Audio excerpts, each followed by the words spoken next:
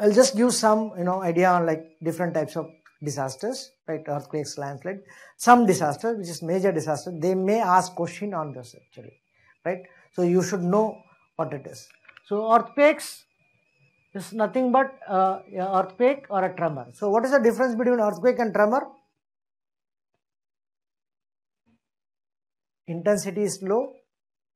If you have a less than 3 magnitude, we'll call it as a tremor. If it is more than 3 magnitude, we'll call it as a earthquake. So that's what we generally classify. So I think uh, most of you know earthquakes happening in, you know, how earthquakes are happening. I'll just simply, uh, you know, explain. So you have a earth. So you know the radius of the earth is 6378 kilometer and uh, this is the depth, right? So we have inner core, we have outer core, we have a lower mantle, we have upper mantle. So this top layer is called lithosphere. So we have lithosphere. Litho means rock. So what happened? Earth is rotating. It's like an egg, right? So egg, you have a yellow yolk. After that, you have a white color. Then over that, you have a, you know, the plate, small, thin layer. Okay. So like that, Earth is also like that actually. So uh, this outer, you know, the lower mantle, outer inter, inner core is like your, you know, uh, yellow color thing, right? So outer layer, we have very thin layer, it's 100 kilometer layer uh, called lithosphere. So when Earth is rotating, due to this Earth rotate movement, so it will, you know, fastly rotating, right? So one over the each other start, you know, whenever there is a chances of, you know, cracking, so all over the area due to conventional current. There is a conventional current, it will flow all over the lower mantle, right? So it will, whenever there is a conventional current flow, so it started cracking the area. That's why we get a lot of volcanoes and other things. So wherever the possibility of evacuating this, you know, lavas outside, that area will get a cracks. Okay. So we have a two kind of earthquakes. One is interplate earthquakes, other one is intraplate. So interplate earthquakes is nothing but is between collision of two plates. Two plates are collide each other, then we will get earthquakes. Intraplate earthquakes, for example, Gujarat earthquake, we have a Gujarat, within Gujarat we have number of faults. These faults will time to time reactivate, then we will get earthquakes. So what is the advantage and disadvantage? Advantage of this one is like we can assess. Suppose if I know this fault line, I can easily tell which are all the area in Gujarat is going to affect by earthquake.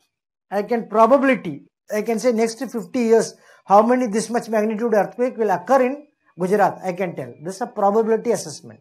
I can deterministically say this fault can create what magnitude earthquake. I can tell approximately. I cannot tell which location, but I can say it's a kind of assessment so that you can go for earthquake resistant design or kind of building activity. So whatever is possible by an administrator, that can be possible, right? And in this, it's a interplate earthquakes, it's a country-country movement, we cannot do anything, right? So it's a bigger event, this is a smaller event. So here you can go for some kind of assessment. There you cannot only, you know, you can do only monitoring, you cannot do for any further bigger activity, right? And uh, this is what it happened, like, you know, this is our continental drift theory, actually. Generally people used to say like, uh, once upon a time we have a single rock, single plate. Then after that the country has divided into two, Laurasia and Gondwana land. You know, India is here, right? So where is Sri Lanka? Sri Lanka is with Tamil Nadu. So now the problem is solved. India Sri Lanka problem. okay. Sri Lanka is part of Tamil Nadu. Okay. So Australia is here. Africa. Okay. US. Asia. Right. So all Kashmir, Afghanistan, all part of India. Okay. So that problem also is solved. right. So this is 1 million 50 years ago. Right. Jurassic period. So you can see this structure and this structure, right? These two structures. This is called convergent boundary. Okay. And this is called divergent boundary. When earth is pull apart each other. So one earth, one mass is pulling apart. We'll call it divergent margin. And coming towards each other is called convergent margin. So it's due to convergent margin, India moving towards north northeast this 100 million years before the Sri Lanka is pull apart from India Okay, It's going towards north and this is 50 million years before. So you can see the structure. It's increasing. Before that it is not there. Now it is increasing. And this structure also it's increasing, right? And this is the present situation. How earth is. So that's why we have this convergent boundary. India moves towards north northeast, hits over Himalaya. So now it is subducting. So it's already, you know, hits. That's why Himalaya formed. Now India is going down. So maybe after 50 million years, no Kashmir, nothing. Okay, all will go down. That's what scientists say they, they used to say, right? So we don't have any Kashmir problem, we don't have Arunachal problem. All this problem will be solved by geology. Okay, so this boundary, right? This boundary, again this boundary, this is a convergent boundary. This boundary, wherever we have, we get a lot of earthquakes. So this is a settling era. So now earth is settling. That's why we get a lot of earthquakes during this era. And this is after 50 million years. You can see that line is not there, right? That is not there. So it means earth is going to settle in next 50 million. Uh, we do not know. We may not be there 50, after 50 million years. But scientists, they say this is the, you know, this is what it is going to happen. So the arrow mark is nothing but how the earth is moving towards, you know, uh, the plates are moving, right? And why do we have earthquakes in India? So this is another thing is plate tectonic theory. Okay, one is continental theory. This is plate tectonic theory. Plate tectonic theory. Either we have ocean continental collision, ocean and continental we have a collision. Then we'll have a form of you know Himalaya. That's why Himalaya form, right? Ocean and ocean collision. We have a ocean and we have ocean. That's why your you know uh, two oceans are uh, colliding each other. Then we'll have a island arcs. That's what your Philippines and other things are formed. Uh, sorry, uh, this one is continental continental collision. Then we have a Himalaya, right? So this is continental continental collision. So ocean and continental collision. Ocean will go down.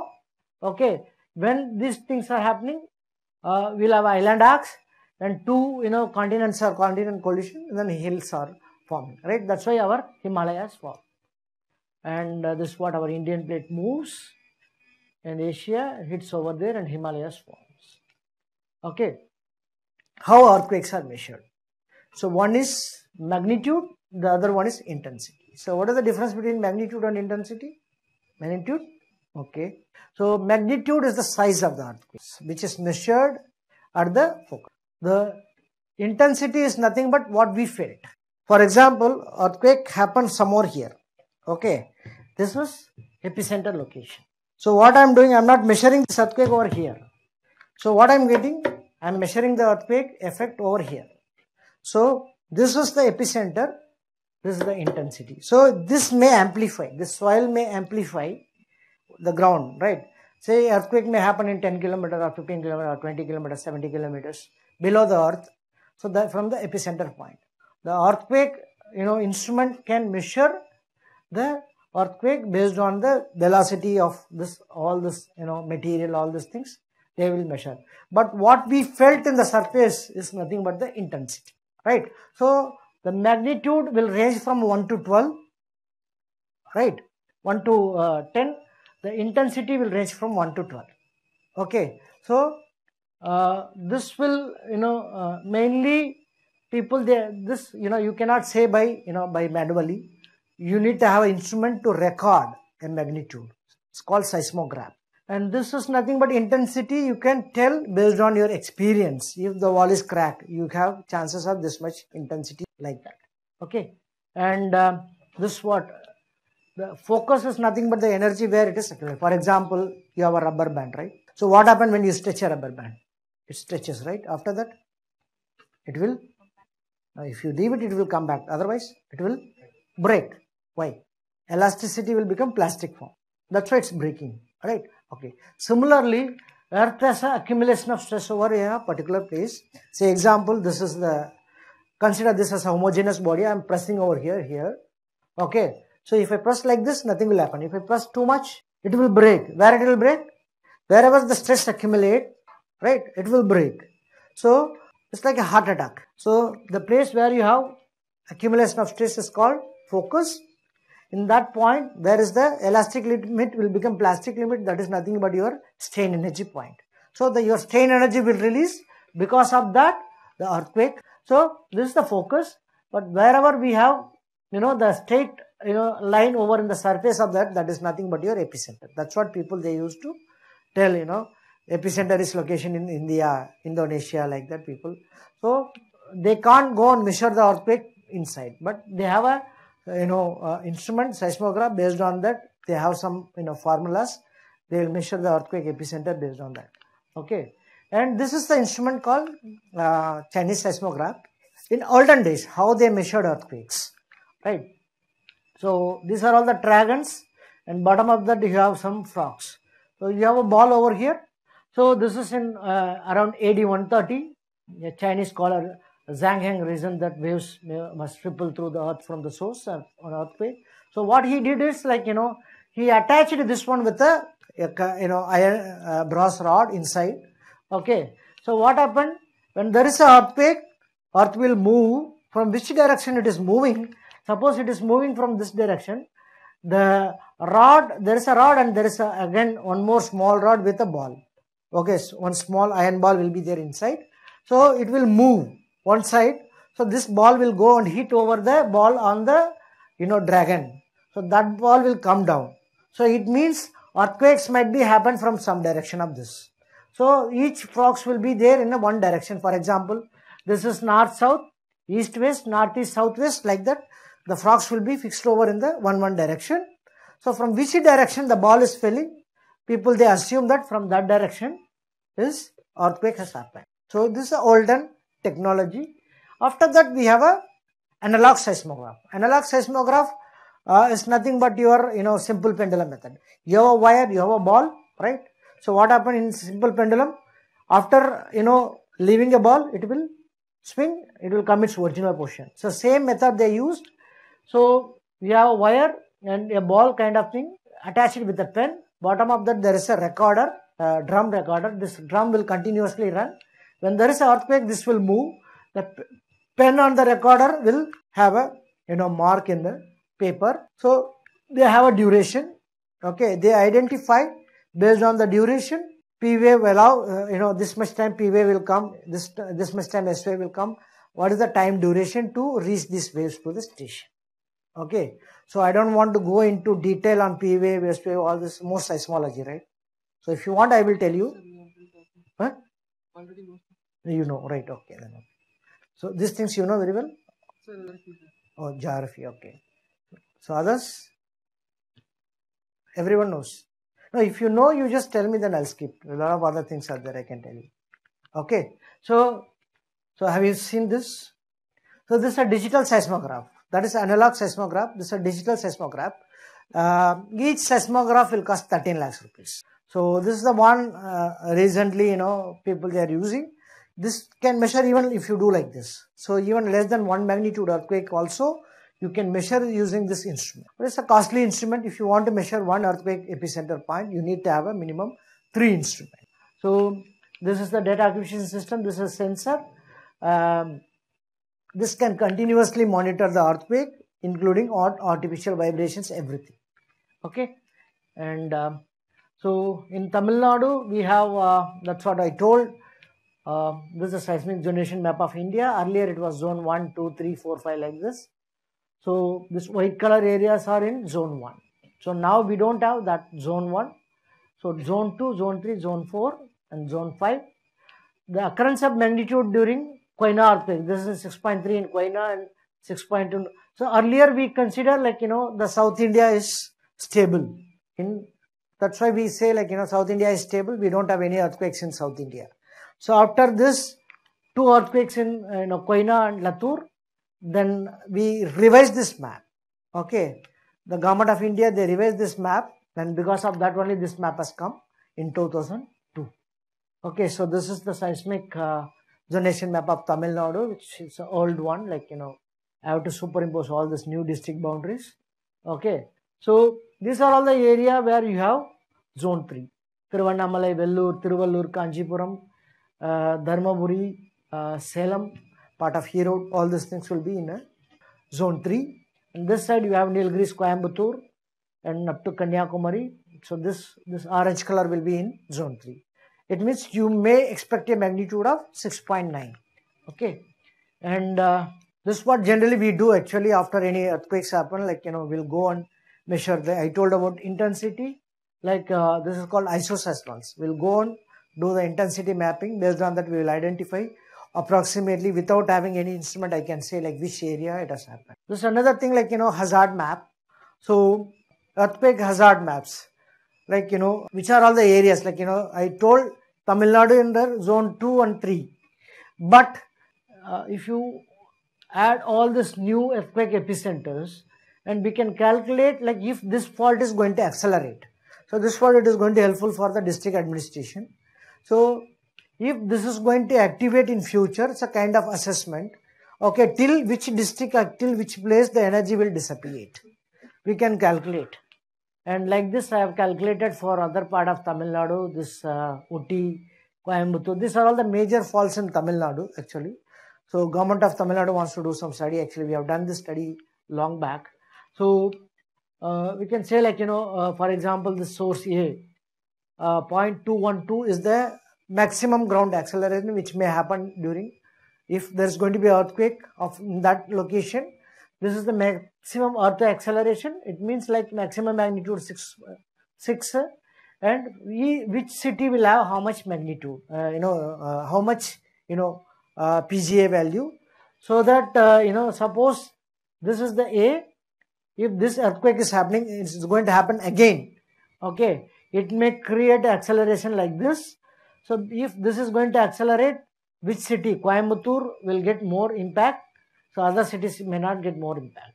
So what I have to worry about if this is going to happen, only this area people will, you know, have to aware on that. So we need to do the precaution measures only for those people. So like that we can, you know, analyze. And um, earthquake mitigation measures, like, you know, we can go for uh, uh, seismic hazard assessment for individual sites. So uh, generally, you know, this technique people they use, like, you know, recently I told, like, uh, if this is a fault, if your building is here, you have a lot of earthquakes. From this fault, from this building, what is the energy dissipating? Based on that, you can calculate. This is one technique people they use. Uh, that's called PGA value. Another one is isoseismal maps.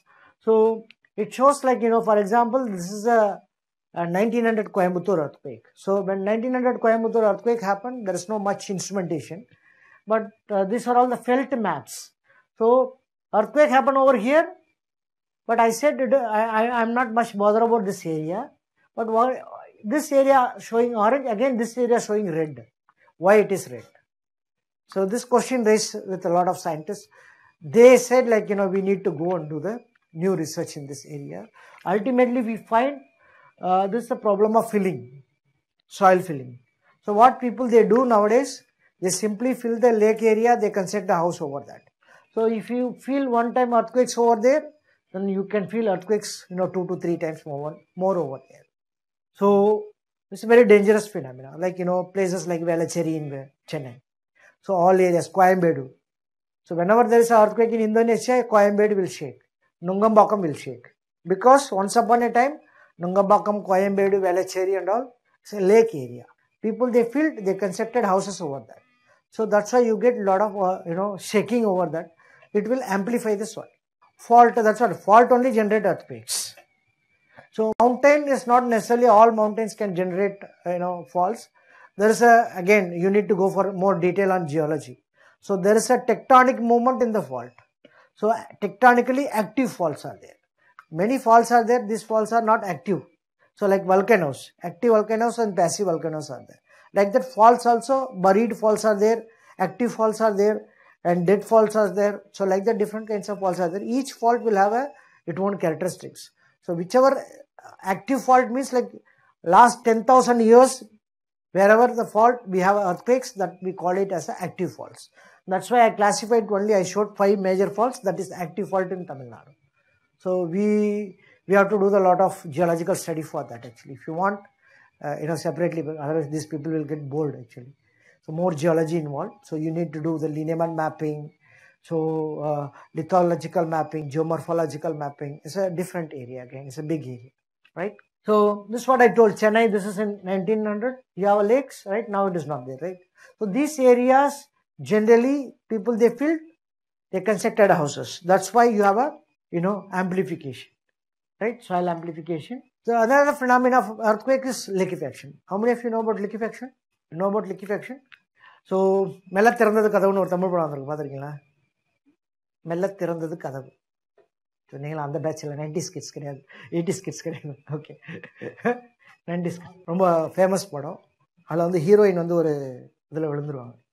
புதகுழியில். புதகுழி is nothing but your liquefaction okay you know புதைக்குழி right so ஒரு sand இருக்கும். திடீர்னு பார்த்தா அந்த இடத்துல இல்லைன்னா அந்த சூரியன் படத்தில் மண்குழி. ஓகே அதுதான் புதைக்குழின்னுவாங்க. மண்குழி ஓகே மண்குழின்றாரு. மண்குழி ஓகே ஸோ சூரியன் படத்தில் கவுண்டமணி பேர் வருதில் இருந்துருவார். So that is nothing but your புதைக்குழி. So what happen this liquefaction is nothing but if you have a shallow water table, if you have a sandy soil in the ground, okay, if you have more than 6 magnitude earthquake, the soil will become, hard soil will become, you know, liquefied. So, building will go down.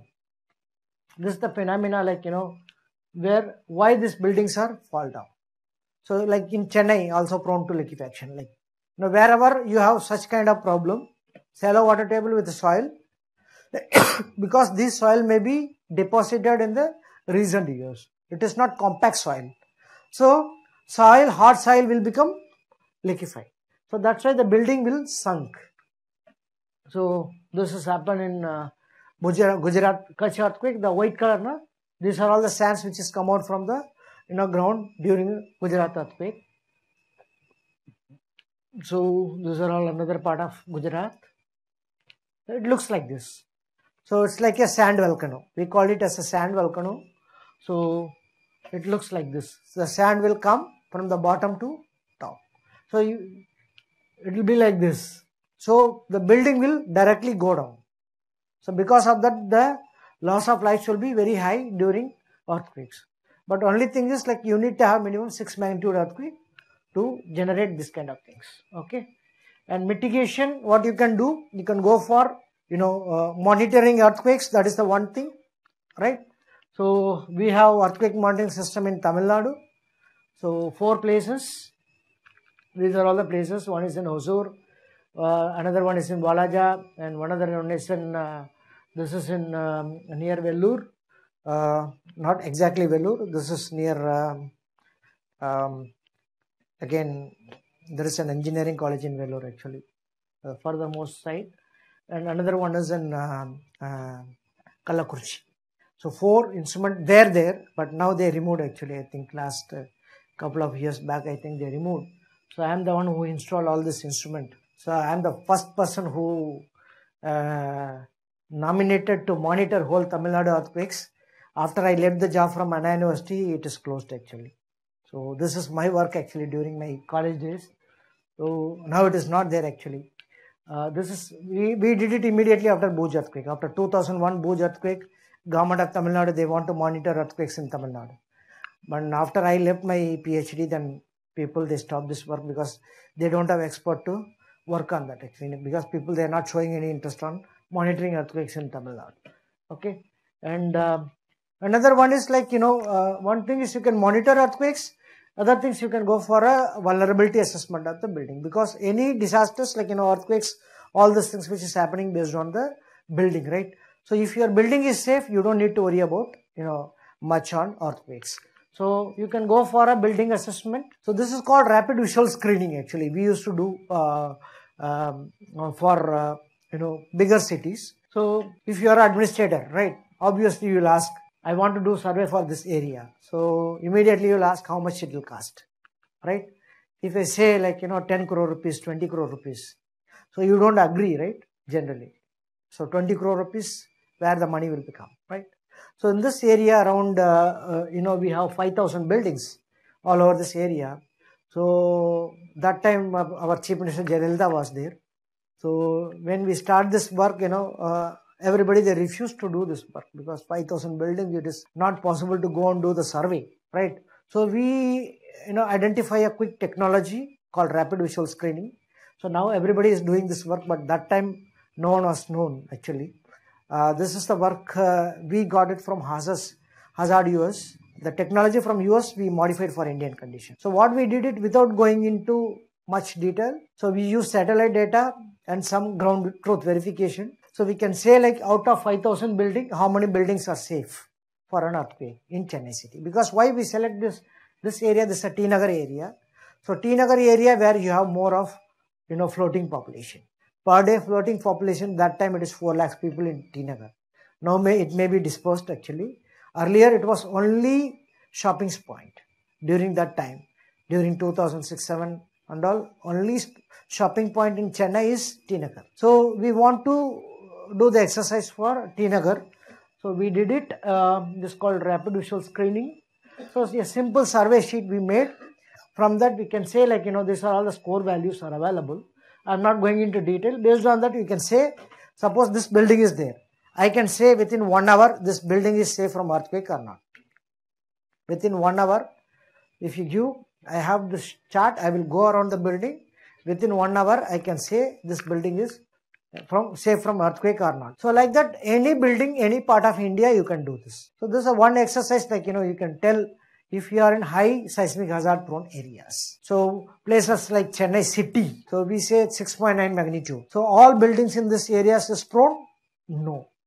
So out of 5000 buildings, which are all the buildings is going to have a problem. So ultimately only 15% of the buildings in T Nagar area have problem. So we reduce the cost of survey, we reduce the cost of you know investigation, everything. Instead of saying that spending 20 crores rupees, we spend only 20 lakhs rupees. So this is the advantage of now technologies are available. You can do actually. So why I am telling this kind of uh, technology is there.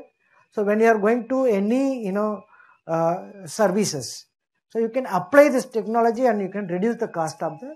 You can save a lot of money on that. Okay, and uh, that's what we did it.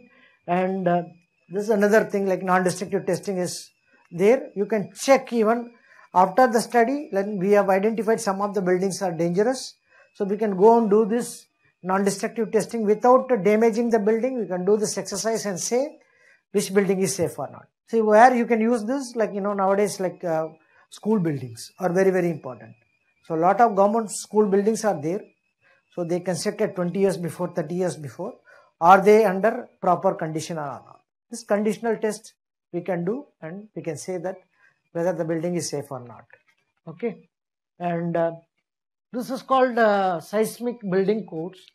So now, you know, uh, government of India, they have arrived with a lot of new, you know, advantage in this. Actually, we can go for a, you know, um, additional retrofitting of a building. So already a building is constructed. So from that, initially I said assessment. I can assess the area is prone or not. Then I can go to the building and check the building is prone or not. If I think like, you know, this building is prone, I can go for NDT and say like whether this building is safe or not. So what further I can do if the building is safe. If I am going to construct a new house, I can, you know, use this technique and go for new buildings. Seismic, you know, building codes, all these things I can use. Or if the building is already constructed, say this building is constructed. If I thought like, you know, people, they may not know this is, uh, you know, dangerous. But what I can do, I cannot go and demolish this building. So what I can do, I can retrofit this same building. So this is a technique, it is already available. People like civil engineers, they knows very well actually. So you can go for retrofitting techniques. And another thing like, you know, uh, people always, you know, uh, worry about money and they implement this kind of earthquake resistant design. So if it is a masonry structure, you can go for only 1.5 to 2 percent. RCC building is maximum of 3.2 percent. So you don't need to do for everything like you know all buildings. Only for the building which required earthquake resistant you can go about.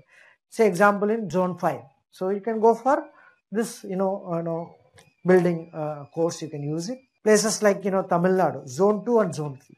We don't require more of earthquake resistant. What we can do, we can do assessment Say if I do assessment, I can identify which are all the areas prone to earthquakes in Tamil Nadu and say like which are all the high hazard area, I can make aware the people. So call the people, give the training, that's all. So I cannot go for earthquake resistant. So you don't need to invest so much money on earthquake resistant design, right? This enough. So risk management, even we go for further, you know, analysis, we can go for scenarios. If there is going to be a higher magnitude earthquake, what happened? So I said like uh, in assessment, I can say 6.5 it is going to happen for Tamil Nadu. But if in case of 7 happen, in case of 8 happen, how the state should be prepared. So that also we have done actually, we have given the report to uh, that time again, Chief Minister Jayalalitha. Actually, she was very much interested in all these things kind, kind of studies actually. She, she invited us and we presented all these things actually. We created a database even including how many hospitals are there, how many beds are there, how many doctors are there. So it's a clear inventory of whole Chennai city we have done during that time. So we said like, you know, if there is going to be a different magnitude, even we can say in which date you can open the school after the earthquake. Everything we can tell now the technology is arrived and we can go for land use regulations. This is another thing like, you know, whenever you are going now smart cities are arrived, right? So whenever you go for any smart cities, you just superimpose the earthquake hazard map or flood hazard map or landslide hazard map, superimpose and check and go for further. And we have policy issues, evacuation planning. These are all again. So this is what I told like new technologies arrived now, search and rescue. In earthquakes, like, you know, uh, this robots are, it's like snake robots. So we just put this robots inside the debris, it will go and move. And if somebody is breathing inside, then it can sense, send the signal in the outside people, like, you know, people who are so search and rescue is you know easy nowadays. And uh, safety measures um, again. This is not generally for you. School kids we used to do. So that's what I told. Like you know during uh, major you know uh, earthquake prone areas you can go for earthquake resistant other things. But places like Tamil Nadu you can go for much of awareness, creating awareness how to do during you know an earthquake or flood or all those things. Yeah. So 430. So landslides. Uh, this is another disaster. So this is in uh, Nilgiris actually. So particularly for landslides actually in, in Tamil Nadu we have a lot of landslides actually.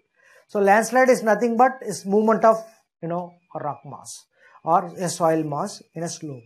You need to have a slope. You need to have some triggering factor. It may be a rainfall, it may be a geological factor, it may be anthropogenic activity.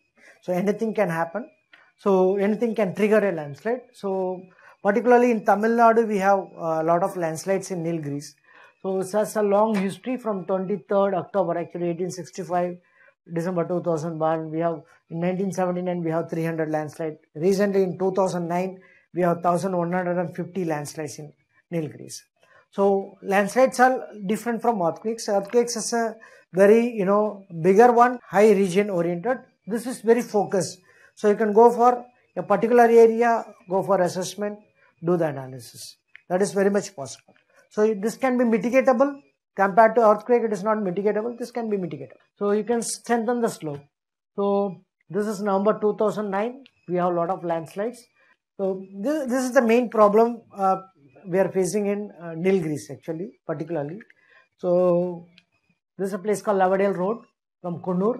This is on 10 11 2009. Actually, the landslide which has happened on 9th, 9 11. So, we reached immediately after one day and checked, like, you know, these are all uh, the structures which is constructed in the top. And um, this is the area where we have a landslide. Uh, here, some four five houses are there, totally washed away some six people they died actually in this location particular location so what they did like generally you know there is a resort over here. To go to that resort people they simply construct this slope. You can see the height of the slope. This is the vehicle. Generally the jcb it may be around 2 meter height maximum right? 2 to 2.5 meter height. Just see this is four times more than the jcb height. So a slope which is cut nearly 10 meter height. They should not do this actually without doing any proper engineering measures. They simply cut because there is another resort of a minister. Okay. So minister wants to construct a road. Simply these people they followed. So they cut the road. Because of that they destabilize the slope. That is the one reason. Another reason like you know water. So there was a river actually here flowing, it was flowing like this. You can see a small kind of this thing. This is underground, you know, Nalla. What we call this Nalla. It's a river which is flowing. So that also people they diverted like this. You can see this. They diverted without doing any engineering measures. So nature it follows its own you know way. So it, it won't like listen to you. You may be an engineer or a doctor or a collector, it doesn't bother. So it follows its own path. So ultimately when there is a landslide, the whole area got washed away. So these are all some of the closer places. You can see this one. These are all some of the uh, nearby area where the water is breaching out. So, so one of the dangerous area like where we have a lot of buildings have, you know in this particular location. So we have a landslide hazard map. So prepared. This is given in 2001 itself to all district authorities. Collector is having this map, but they do not know what to do. So that's what this subject is emerging like, you know, what you should do. What kind of remedial measures you can go for. Suppose if I give this map, okay, so this is the map of uh, Nilgiris if you are a collector in Nilgiris. So what you can do with this map? First thing you know, whole district is not prone for landslides. It's very clearly known, right? Only the red color area. So further what you can do, so I put red color all over this part from Mettupalayam to Ooty, Mettupalayam, Coonoor, Ooty. Right, whole area, whole stretch I am putting red color, but not all area is not prone again. So you need to go to the in a particular area and do the assessment for detail. So already these maps are prepared by the local authorities. They prepared actually. Uh, the local universities are there already. There scientific people there doing this exercise. Take that map and do the you know precautionary measures for those areas. What you can do one is either go for slope stabilization. So they have already identified these are all the slopes are not stable. This may get failure in future. For that you can go for slope stabilization so that landslide may not happen in that slope. One thing. Otherwise what you can do, you can go for early warning system. If you feel, if you want to stabilize the slope, you need to spend crores of rupees or lakhs of rupees. So your state government is not giving money. So district you don't have a fund. What you can go? You can go for a simple early warning system. See nowadays committee based early warning systems are there which is available in Ooty's. Now they are installed. So a kind of siren, right? So now we have a early warning system using artificial intelligence. Recently we developed uh, in uh, in my office actually I developed one new early warning system for landslides. So I can if my instrument is installed in this place, it will trigger. It will say, you know, it will uh, give a warning in advance. When there is any small movement in the slope, you can get a message in your mobile. So that much advanced technology we developed recently actually. So this called uh, News Nilgiri Early Warning System. Uh, we supposed to launch shortly. We are going to launch this system actually. So that will say like, you know, this is based on IoT and uh, uh, wireless sensor network. So uh, we have a, sensors. That sensors will be installed in the slope. When there is any movement, the sensor will detect. If any rainfall is coming, it will detect. It will run through the software and check if uh, there's going to be any you know warning we have to give or watch we have to give or alert we have to give to the people or whether the message can be sent to only collector or the message can be sent to the lower level officials or the message can be directly sent to the public because three level warning system we have. Because sometimes you know it is only watch. So we cannot make the people panic. So the information will go only to collector. So then collector can send a message to the DRO and RDO. Then RDO can send a message to the Tahsildars and RIs so that they will know like you know Tahsildar and RI only know the people, right? The local people. So they will alert the people in that particular area. If I'm say this slope is going to failure tomorrow, they will alert the people, they will evacuate. That can be possible. So now the technology has developed. That is one thing. Early warning you can do. So slope stabilization you can do. Another one like, you know, uh, slope stabilization is a costly thing you can go for some natural materials. Like you know nepal they do within you know few thousand rupees. Slope stabilization they are using some plants. Based on the plants itself they do it. So that also possible in landslides. So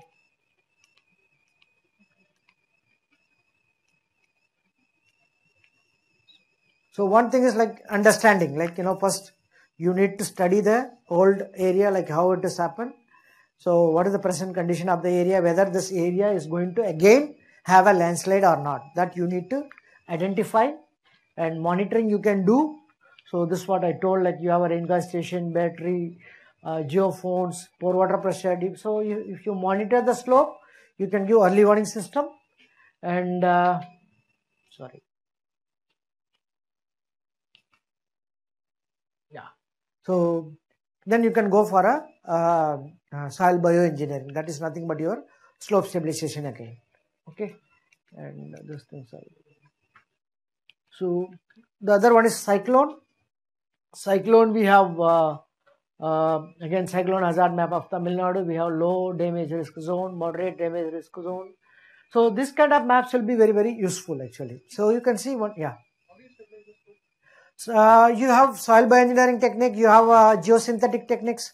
So what we do generally, like you know, if you have a slope, we study the slope first. So whether the slope will be having a geotechnical characteristics. For example, uh, uh most of the slopes, like you know, uh, uh, they have a slope failure, right?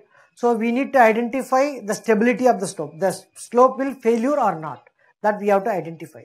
So in geotechnical, if you take the soil sample, you can analyze and say we have to identify the factor of safety.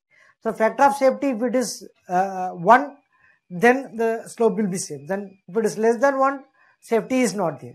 So what we do, those kind of slopes we will identify. Okay. So we will analyze the slope and we'll go for the trimming first. The slope will be trimmed first and we will analyze, we'll take the core sample, what kind of material is involved in this particular soil.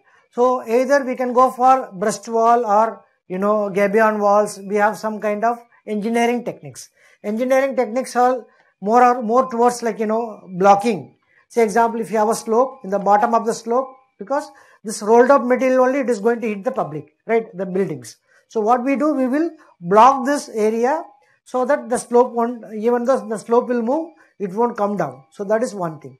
And second thing, what we do, like, you know, in the slope itself, we'll make some kind of, you know, bench kind of structures. In that, we'll have a kind of, uh, you know, uh, cementing material, they will stabilize. That is one kind, but that is against nature. That's what I told about soil bioengineering. Soil bioengineering, what they do generally, they will trim the slope they will plant the native material of the uh, thing. Like, you know, for example, if you have a slope, in that area, different zones, different kind of plants we will put it. For example, in the bottom of the area, we will put some kind of bamboos. So if you put bamboos in the middle of the slope, then it increase the weight. Again, it will trigger landslide. But if you put a bamboo in the bottom of the slope, it will catch the material. Okay, that is one. And another kind of bush and like kind of, uh, we have a broomstick material, right? um, uh, in Tamil, right? So that kind of, uh, you know, grass, if you planted over there in the middle of the slope, it will hold the soil. So most of the shallow landslide, we used to have this kind of, you know, different kind of plant materials. We have to study actually. We have to study the nature, climate. Uh, again, it's a soil bioengineering. Uh, again, one semester you need to study in your subject. It's a very big subject. I'm just telling like, you know, so that material you can use it, you can stabilize the slope and now people they are using like they'll put some jutes on the slope and they are planting some trees on that so that soil will be stabilized so it won't move. So it's nothing but the binding capacity of the soil might be increased.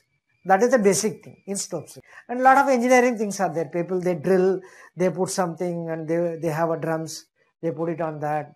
They put uh, some iron rods, uh, you know, fence, they put it inside the.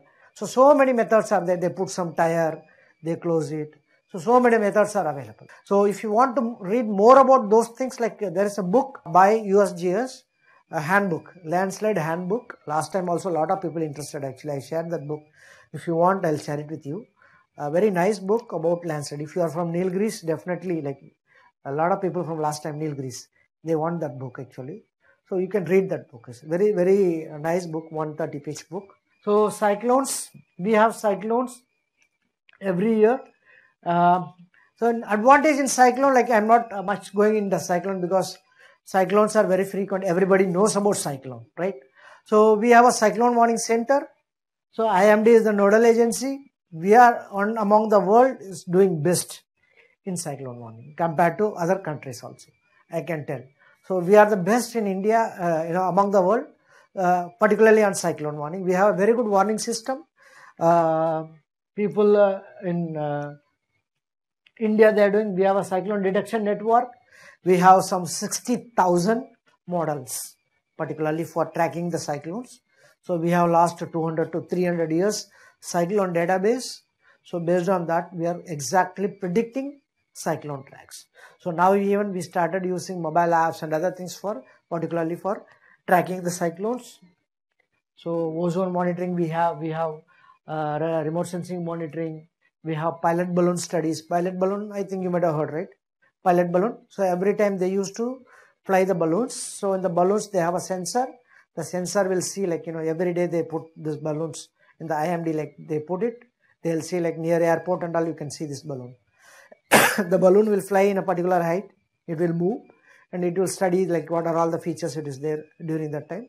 They'll have some climate sensors, that sensors will detect like, you know, uh, what are all the, you know, climatic activities going on in this altitude. So we have a radars also, we have remote sensing satellites also. So everything will be monitored by India Meteorological Department. I think tsunami also you know very well. Um, tsunami is nothing but an earthquake in a ocean, right? So all earthquakes cannot generate tsunamis. That is very simple. If you have a strike slip fault, if uh, strike slip movement, you won't get tsunami. If you have a dip slip movement, if your plate will move down, then there is a chances of tsunami. And again, minimum you need to have 7 magnitude to generate a tsunami. That is the basic things in tsunami and uh, this Indian Ocean tsunami. So tsunami monitoring now we are doing very good actually. You know who's the in charge for tsunami monitoring? INCOIS. So INCOIS is in Vizag. Uh, they are monitoring tsunami based on this buoys. So you have a, a, sensors. The sensors will be attached with the ground, and we have a surface uh, monitoring system. So this will be floating in the uh, ocean so this will be connected through satellites and when there is an earthquake, the ground will shake. The ground, when there is a ground shaking, the sensor will detect and when there is a change in the water level, the buoys will give the water level. So if any changes in the water level as well as in the movement, then only the signal will be given to the uh, station which is in the INCOIS. So again they have a model. So any part of the ocean, if there is any change, immediately the model will detect. They will go and pinpoint if for example if you have a ocean say example this ocean. So this is the location. For example your chennai for example i'm telling. Chennai is here. So if anything happen over here what they do they have a grid pattern like this small small grid pattern. This will detect earthquake. Immediately the velocity of the wave it will be calculated. And any part of the world like you know the, if there is an epicenter over here here here here any epicenter. So once you click that it will automatically calculate what is the effect to your particular city. That will be calculated. The information bulletin will be sent it to the concerned uh, uh, government authorities like uh, our chief minister office news will come. There is a control room. The control room news will come to tamil nadu state. For example tamil nadu state we have a control room. It will come to there. And this will be monitored thoroughly. And uh, every time uh, they have a watch what alert alert three things. So you can also see anybody can see this. So either you can go to INCOIS or you can go to NOAA NOAA N-O-A so uh, National Atmospheric Agency Ocean Atmospheric Agency so there also you can get a lot of information. So they will continuously monitor if there is any change. Like you know when there is any earthquake happen they will you know work on the model. Immediately they will calculate the velocity. Then they will watch. They will give alert. Then they will withstand the alert also. Both things they will do. They will give initially alert. There may be a chances of tsunami but after some time they will withdraw. So that is also possible. They are doing now.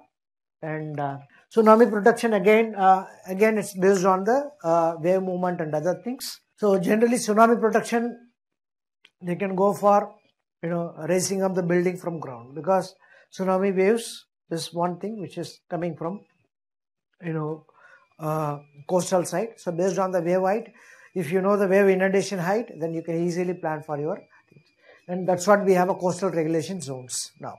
And another things like you know uh, recent days like people they started using mangroves.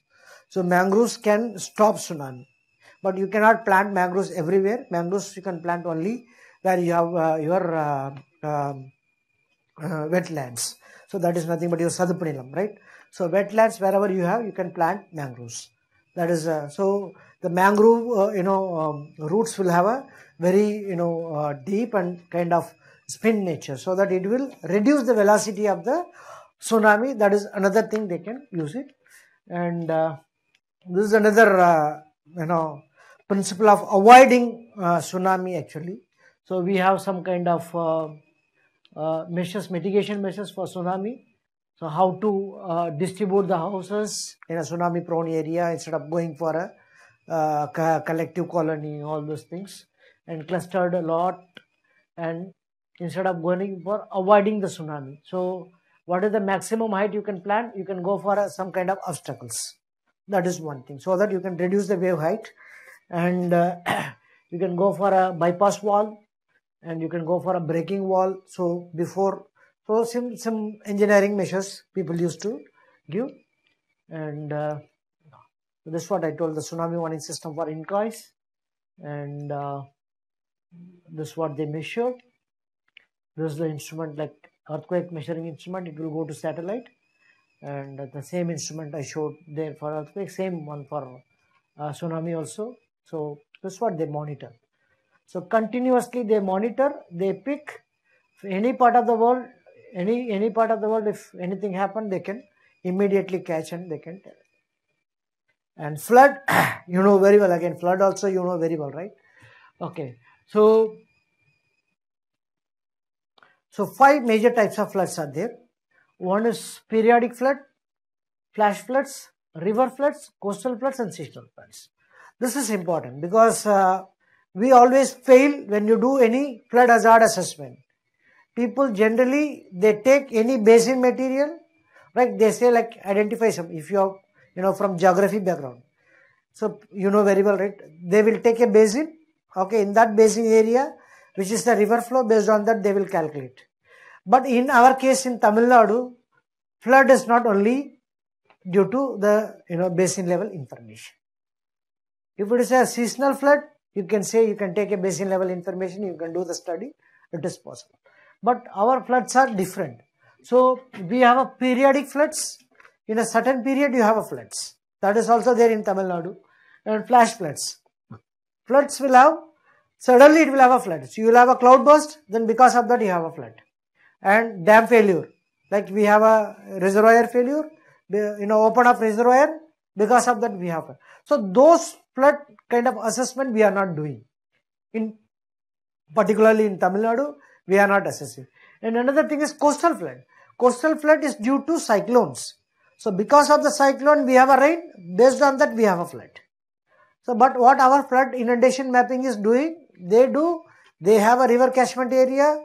In that river catchment, this is the inflow, this is the outflow, this much rain is coming, so that this much area will inundate. So that doesn't work. So you need to understand what kind of area you was. Suppose you are in Cuddalore. You can go for coastal flood. If you are in Chennai, you can go for combined with river flood and coastal flood and seasonal flood. So like that you need to study. So one kind of flood assessment, it won't be helpful for, you know, saving people, right? And you need to identify where it is. Not this one. So you can manage the floods. So now a lot of techniques are available to manage the floods actually, particularly uh, um, flood mitigation measures are available. So you can assess the flood, which area it is, and you can avoid the flood, you can divert the flood, and you can go for some kind of uh, zone regulations like this. So this is the regulatory floodway, and uh, kept open for carry flood, the black color, and two, the next two area is the regulatory floodway fringe. Use permitted if protected by fill, flood proofed or otherwise protected. Regulatory flood limit based on the technical study, outer limit of the floodway fringe, this area, and uh, so this one, this one, and fourth is the standard project flood limit, area subject for possible flood by very large floods. So you can identify this area very clearly based on that you can permit people to go for a construction of the houses as well as the you know any infrastructure development. You cannot just like that say like you know in any alluvial plain or floodplain area you can go and have a you know construction after that you can evacuate people. That is not you know uh, advisable. So this kind of map you have to prepare. So for district level now people already they are doing district level, ward level, taluk level, even go for uh, village level. In Panchayat level, they, they have maps now. In all, in Tamil Nadu, everybody have this map, you know, in government office. How many of you have TN Smart uh, app? You have TN Smart app. so if you have a mobile phone, you can download. It's a free app, TN Smart app. You can read many things from this app. Tamil Nadu Smart, TN Smart. So our CRA, former CRA initiated this, Satya Gopal sir.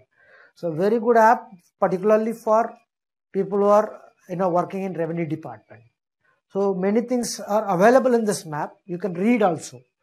So all vulnerable locations of your district. Suppose if you are from some district, in mock interview we'll ask question about your district. Right? That's what you know. Yesterday somebody was from Tiruvannamalai. I am from Senji. So I always curious, right? If if he is from my place, nearby place, I know many things about my place. So I'll ask so so many questions. In mock we used to ask. So then everything is available in this. You know, if you if you are from Tamil Nadu, all district disaster related things are available in that you know app. You can download and you can easily open and see all vulnerable places in each district. How many flood vulnerable places are available? Which are all the places? Maps. Uh, what are all the remedial measures government has taken? Everything is available. You can use it.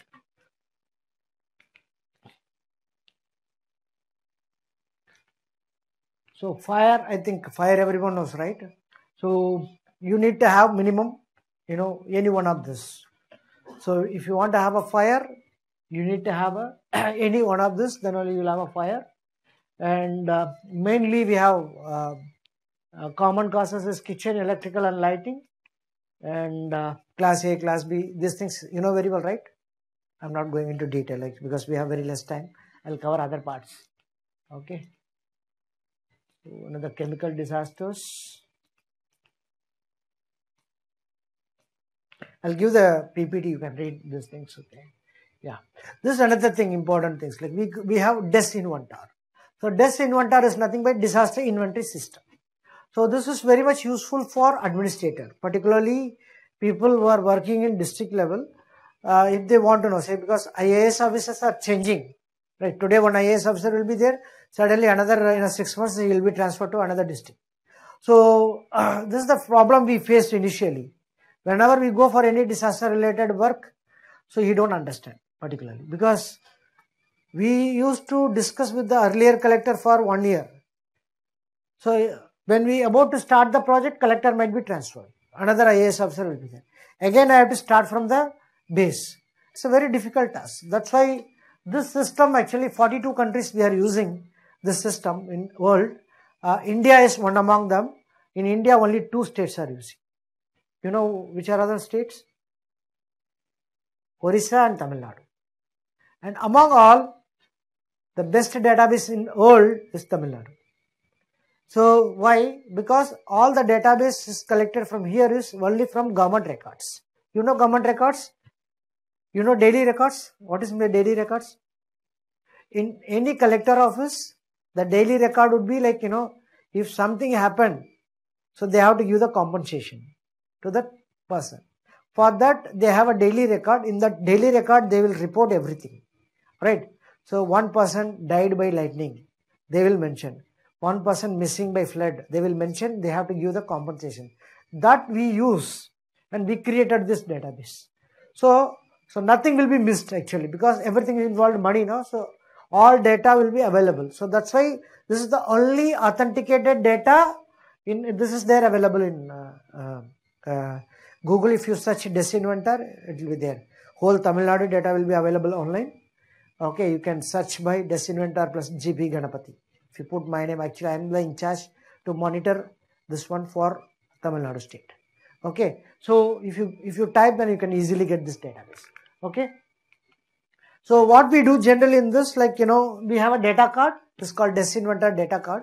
So in that, how many people died, how many people miss injured, what is the magnitude, how many people got affected, relocated, damaged houses, lost, evacuated, victims, destroyed houses.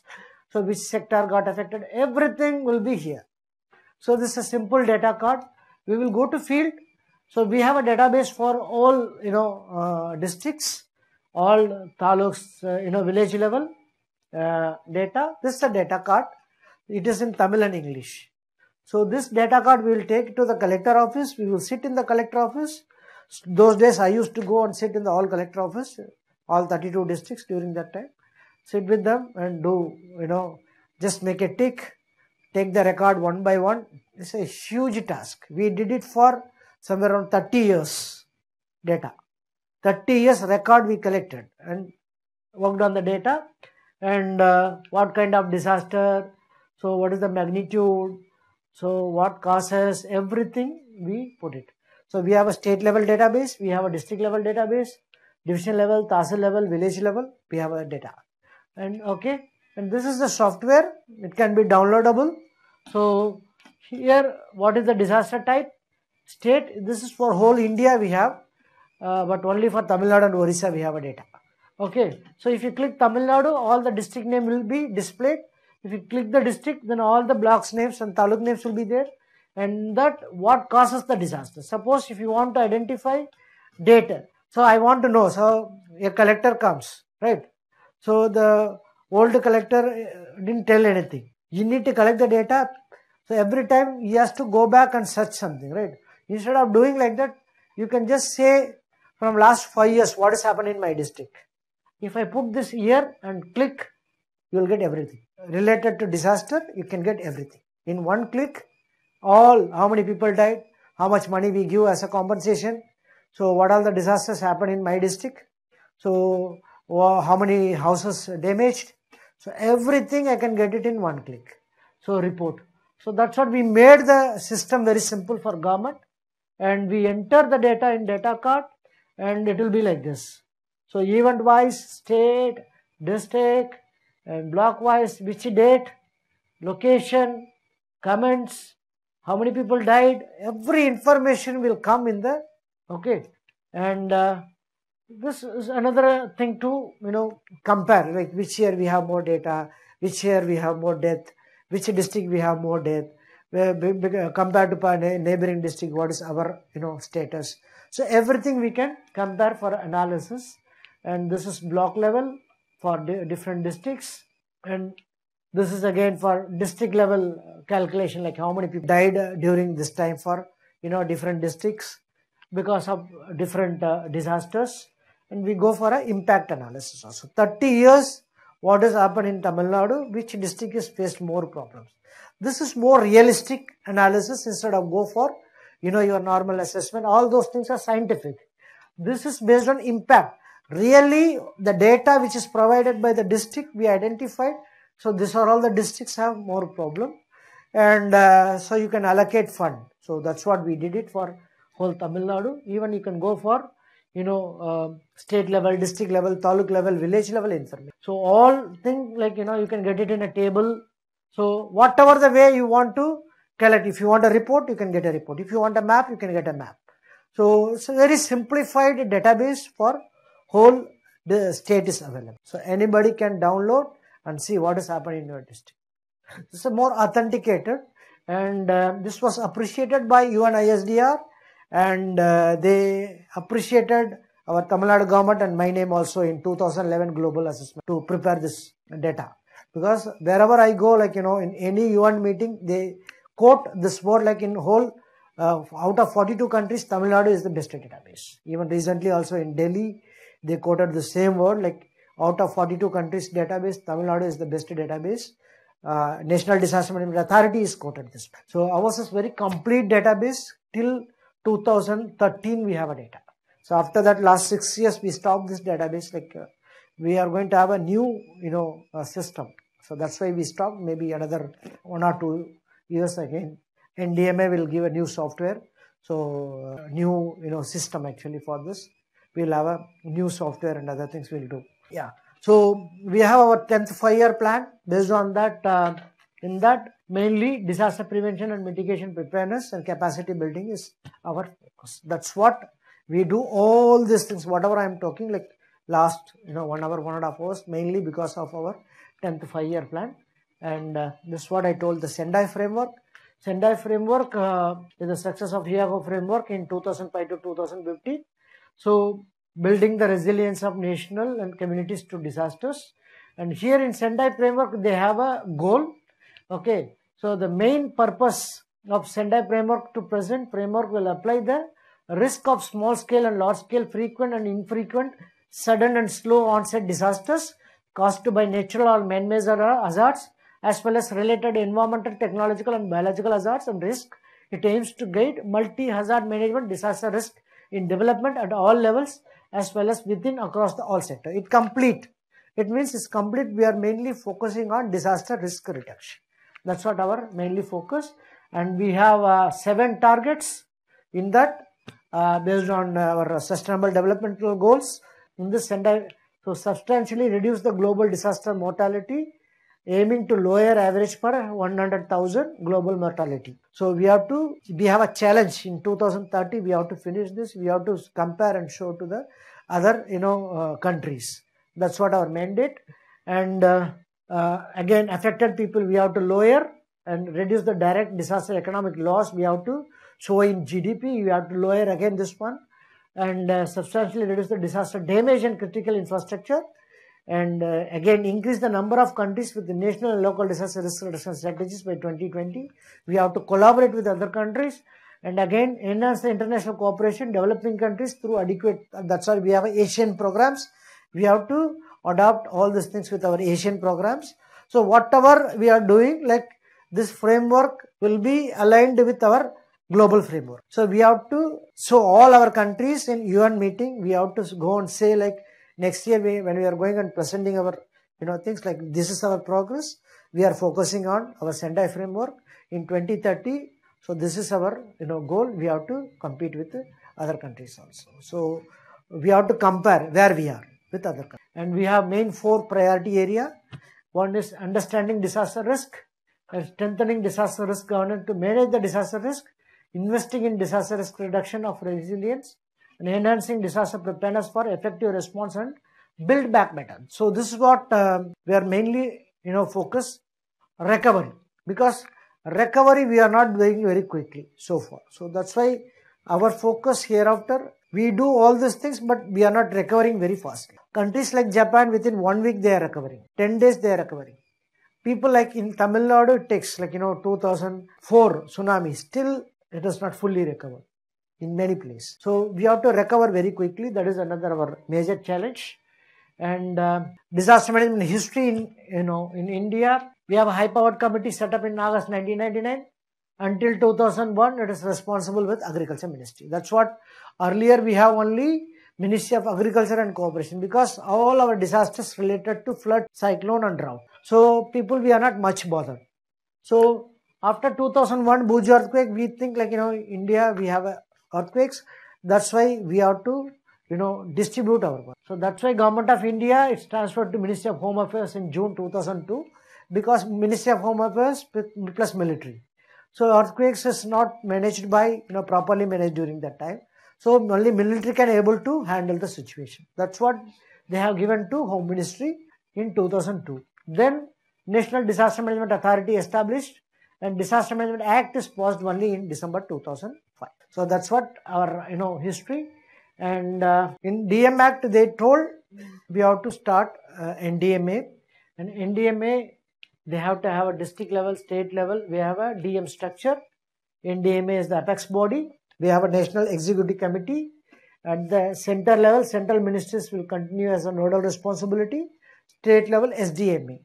So our chief minister is the head and state executive committee will be there and DDMA will be there at district level. Collector is the magistrate. That's what any IAS officer is like equivalent to like chief minister. You are the chief minister of your district. So in disaster concern, it's equal. You have a equal role like what are you are doing related to revenue for your district, same equal role you are going to play for disasters. So you are the chairman of district disaster management authority. So state level you have a state disaster management authority. So each district now we have a district disaster management authority committee. The committee will have a people including DRO, RDO and other technical people. So every district they have a committee. District level committee is there. And this is the NDR, NDMA mandatory. They have a policy, guidelines and uh, coordinate with uh, disaster policy plans, prevention mitigation plans with capacity building, lay down broad policies. All those things are done by you know NDMA. So already they have done and uh, so that's what the government of India they focus they decentralized and they, after that they started this kind of projects.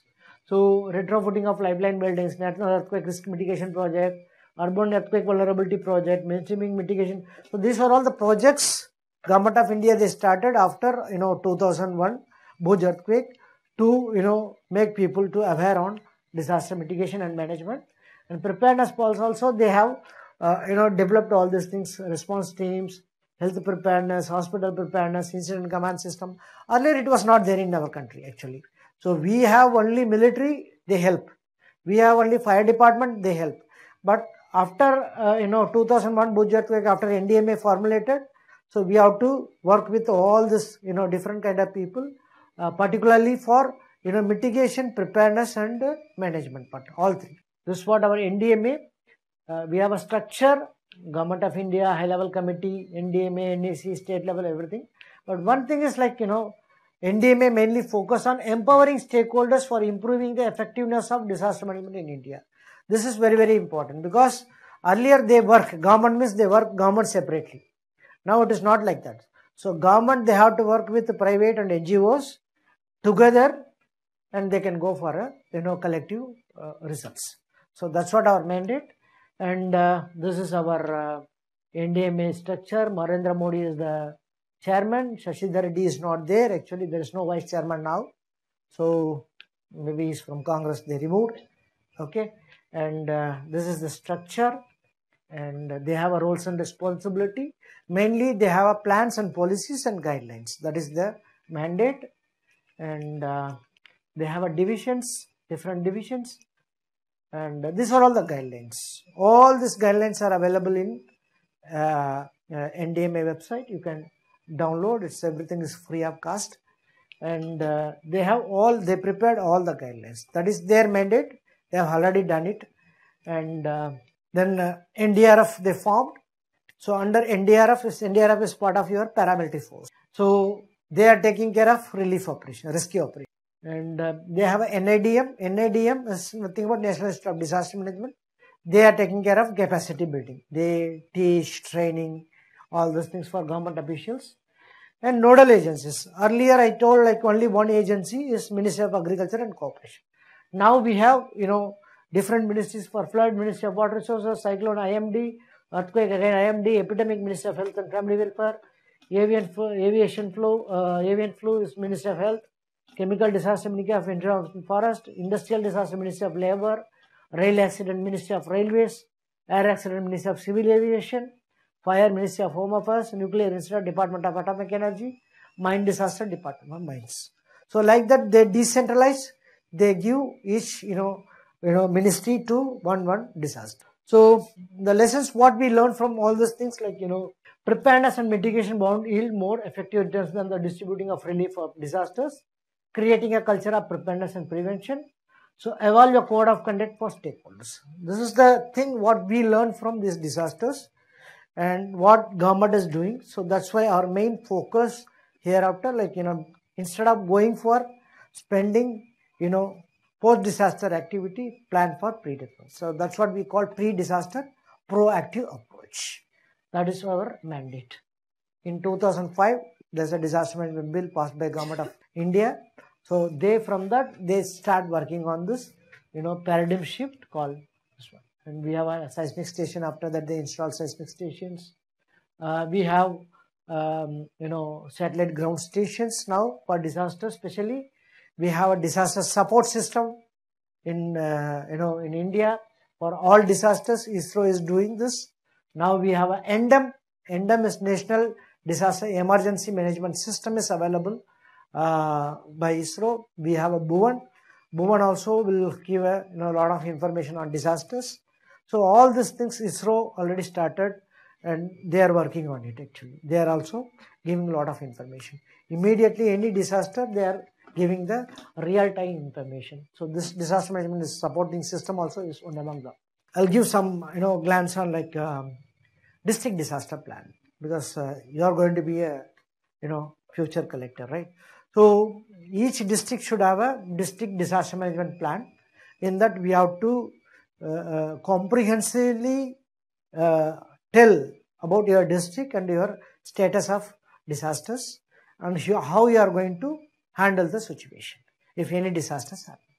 So for that uh, you need to have a, a basic information and uh, you have to have a database first for your district, how many schools are there, colleges are there. So all these things will be helpful for your preparation of your emergency shelters, uh, district disaster management organization structure. We have a method of information dissemination in district. Actually, this is for Vellore district. I prepared actually, so I'm just so we have an emergency action plan for the district. What we have to do? So we have a goal for the district. So every district should have a goal for 2017. Actually, we have uh, goals for 2017 to 2030. What we have to do, and uh, we have hazard vulnerability and capacity analysis. This every district should do this exercise. So this will differ from each and every district. Hazard map which I shown that is for regional level. But your district level, you are the in charge, you are going to do this exercise. So you need to identify which hazard is high for you because you have to give the priority. So earthquake is there vulnerable, I know very well. But again, for my district from during my period, I have to much concentrate on flood because it is going to happen every year. So that is also my priority in my area. So our idea of this disaster management plan is to uh, understand about your district, identify top disasters in your district. Like, you know, if I identify top 10, so top one is flood. So next 10 years, so I have to eradicate flood in my area. Flood may happen, but flood deaths should not be there. So you need to, you know, totally reduce the risk. That is our mandate for any disaster management plan. So that's what you have to do this exercise first. We have a score value. Flood means there you have a flood. So here that's what I told. That is regional level. Here in Vellore means where I have a flood. Palar River, whether I can get Palar River flood or not. So what is my probability? Occasionally. It is not regular. And vulnerability rating medium. Again ranking is 4 like that and drought, deficit of rainfall, cross yeah, frequently, yes, we have high, yes. So, automatically if I have frequent and high, the score value will increase, right? So, I can prioritize earthquake, yes, occasional, but we have high probability of damage. So, 6. Fire, yes, high probability. So, in my district, uh, so which are all the top disasters? I can rank myself, okay? So, we have a cold wave, heat wave problem that is also there and seismic hazard where we are whole district is prone to seismic hazard and flood hazard, cyclone hazard. This is a simplified flood map of Vellore. So you need to go in detail. This is a simplified flood map of Vellore district. And again, we have a seasonality mapping. So which month we have to focus? Because we have regular work. Revenue department have regular work. So I cannot go and do all this disaster work every month. Right? So which month we have to do? So for that where which month we have flood? So so if you have a flood for this month then when i have to start my work. I have to plan. So this uh, again seasonality mapping and resource capacity. So where i am? So in case of a disaster whether i have required resources or not. So where is my fire station? How many fire people are there? Where is the hospital? How many hospitals are there? How many private hospital? Ayurvedic hospital, dispensary, primary health centers, total number of nurses, total number of doctors, everything we map. So this actually, I used to go and sit with the collector every day and uh, conduct some meetings. All this collector office people, revenue department people, all your PWD, all people will come. They will sit with us. They will give the data. We will collect and we will prepare this kind of disaster. It's a collective uh, one. It's not like you know only one man can sit. It's a it's a big team actually. So all these people uh, from district level authorities they have to come and sit and discuss and prepare this. And uh, transport road, road network where it is, how many kilometers we have, and uh, registered mobile vehicles, how many vehicles in Vellore we have, and railway length, closest airport, closest helipad, uh, closest seaport, and communication, how many telephone lines, how many public call officers, number of telephone exchange, and then police, police forces, armed forces, police station, police hotspots, bank, nearest nation, NDRF office, NGOs, and educational institutions, radio, uh, river, canal, power grid, nearest IMD office, district emergency operation. So everything you have to document. Okay, and uh, these are all some of the maps. Where are all the fire stations and road railway network, location of post office, and uh, water bodies. So these are all like you know again regional level map. Again we'll go and zoom in the local level also we have maps for everything and uh, severity. So each disaster we have a list. In that we have to prepare the severity. That is also there. And um, so earthquakes, where all earthquakes happen in Vellore district. So disaster, these are all uh, list of earthquakes happen in Vellore districts. Again, damage, uh, year-wise crop, which from olden days, what has happened in the district. You need to analyze the whole, you know, the olden days and present, everything. And uh, floods, because of flood, if anybody died or houses no damage, all the data we have to put it in the database. And here was depth, this was rain related, climatology, and uh, extreme weather condition in the district, and uh, road accident, how many people died, and flood, well, this is what I told, like, you know, uh, how many uh, flood uh, vulnerable places. We have moderately 50 places, totally 90 places last time. So this year we reduced two places. So 2000, this 2017 data. Now in 2019 data we have shown two villages we have totally reduced flood vulnerability. It means in that village hereafter even if flood comes nothing will happen. So our collector has done a very good job. Uh, now is the collector of Salem, Raman. You might have heard his name. So it's very, very meticulous person. It's an agriculture background.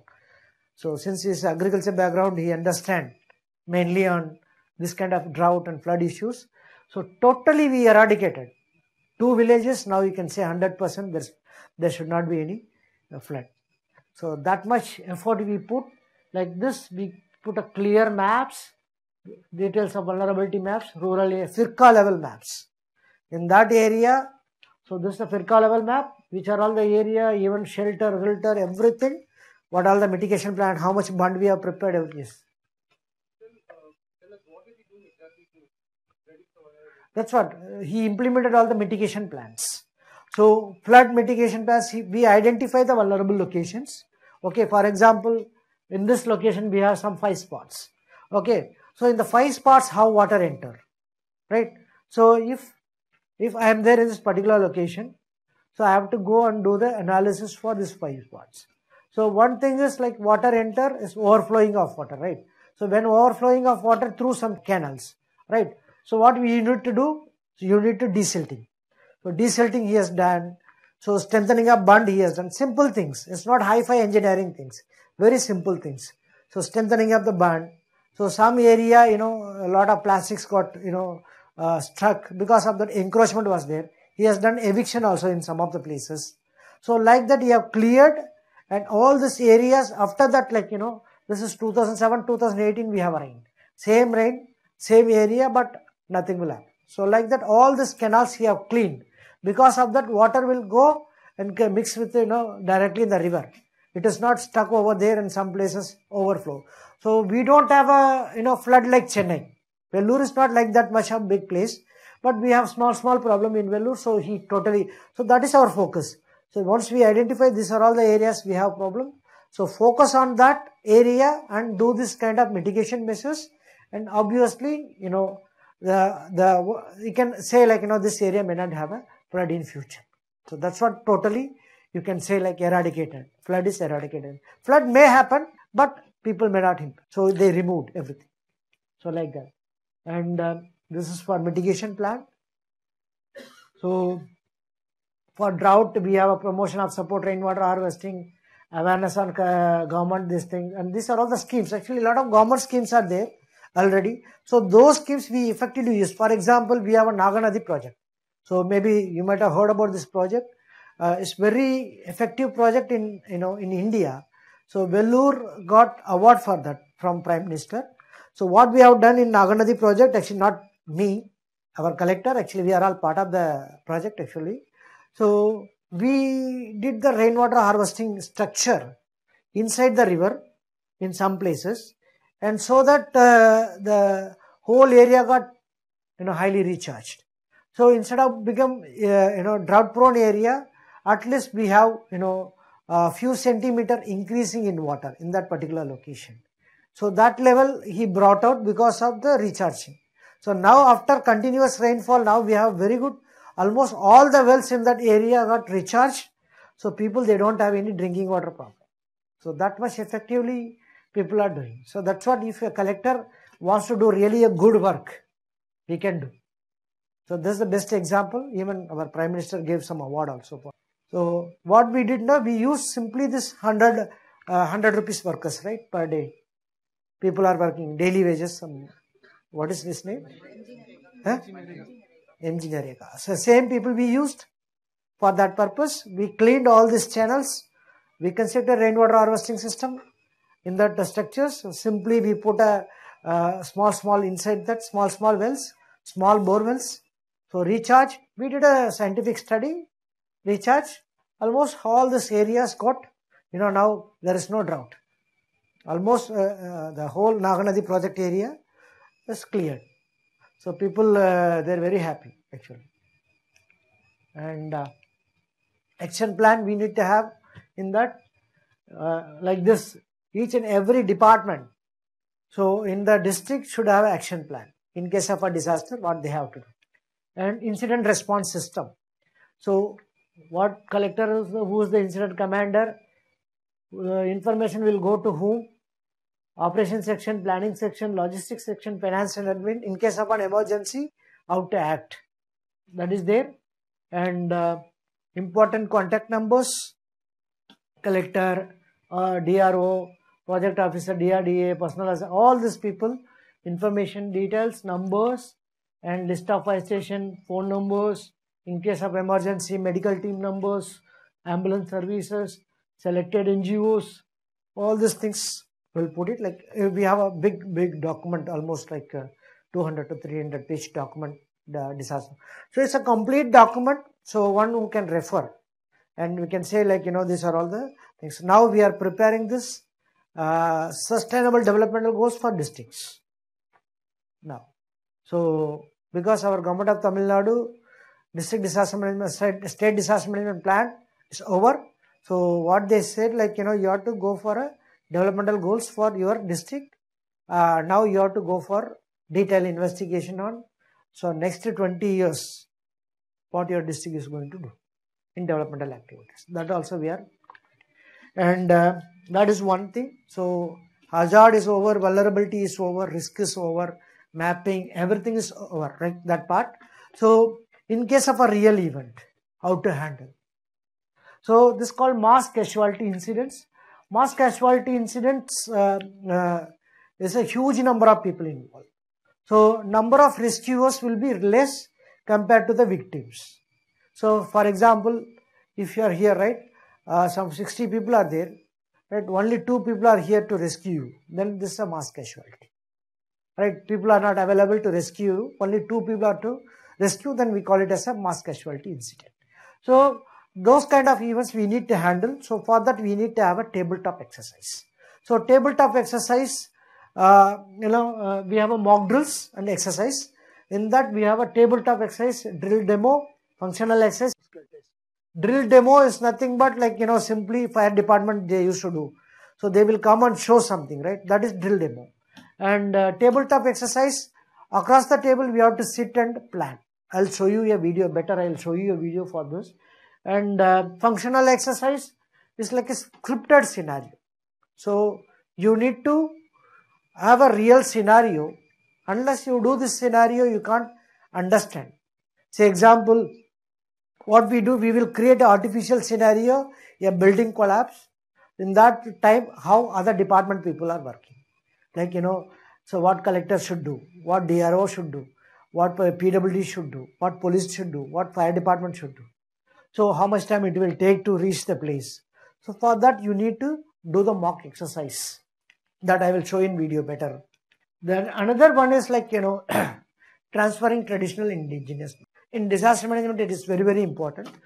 So this is the one temple in japan right? So this is 1300 years old temple. There were around so many earthquakes happen in this area but none of the earthquakes you know damage this temple so such a way that they constructed the temple earthquake resistant using some wooden balls okay so you know the technique where they learned from it's from india the architect who came to India, learned this technique from India, he implemented the technique in Japan. But that now this technique is not available in India. We forgot. So our forefathers, they are very clever, right? So they know, like they know about you know disasters. They are well versed in disasters. So those kind of information we are not using right now. But other people they came to India, they learned from India, and they just simply implemented that is one thing. And this is another one called baobab tree. You know baobab tree? Baobab tree is very famous for drought monitoring. So the tree has a very big, you know, trunk. So it means it have a very high holding capacity. If the tree starting drying from the bottom, it means the area is undergoing some drought. So our, you know, farmers, they watch this tree and they say like, you know, in this area, they'll say simply uh, this area is going to undergo some drought. So there is no scientific, simply they say like from this tree they can identify. And flood warning. So you know the, the, the sparrow's nest. So this will be in the downstairs before 24 hours of you know flood the sparrow will shift his nest. They know. So when the race of water, birds know there's going to be a race of water based on the climate. They know they will shift the house in the top. It's another way of flood warning and flood protection. This is called Vaju protection. So in those like you know people like you know those days they use Vaju. Vaju is nothing but a tree, like kind of plantation. They put it all over the river. So river generally they have a meandering. In geomorphology you might have heard about meandering. So meandering is one area it will uh, erode, another area it will deposit. So people they identify this erosion area, they will plant the trees so that the river bund will be strengthened, so that you don't have a you know flood in that area. And mangroves, I told like you know if you have a mangroves, it will reduce the velocity of the tsunami water.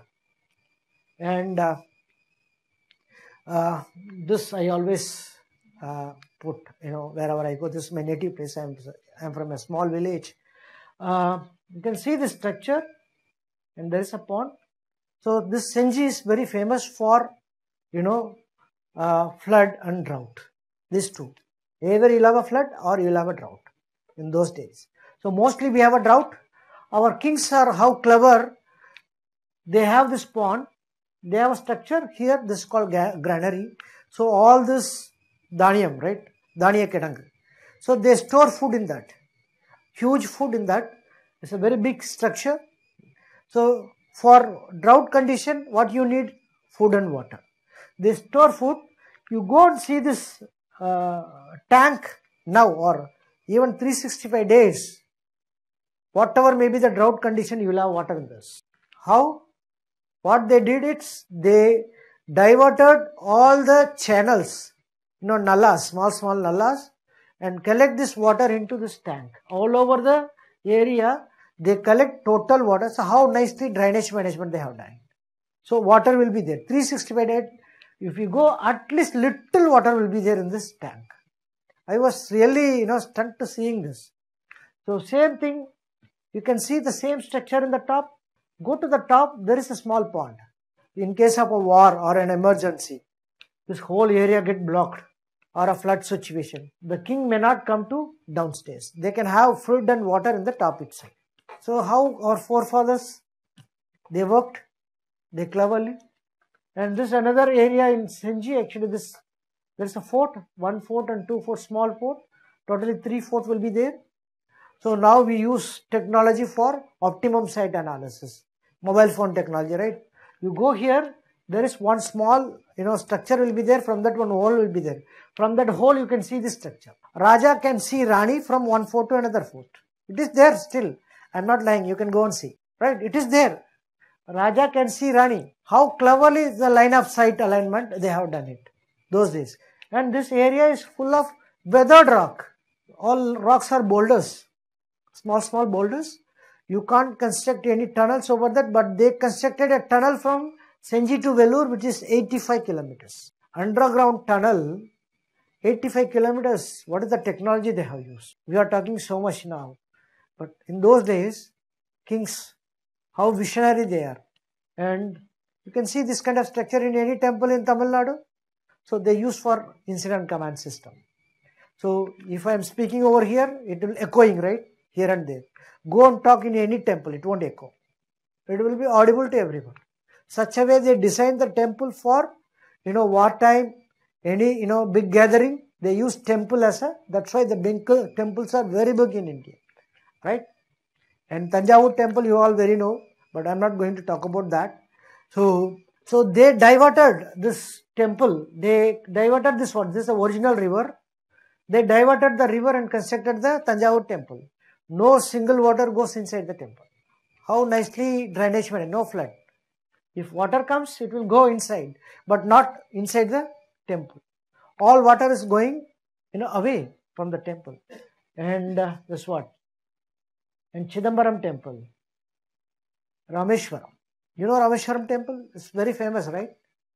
Thousand cyclones were crossed this temple. So for none of the cyclones were hit this temple.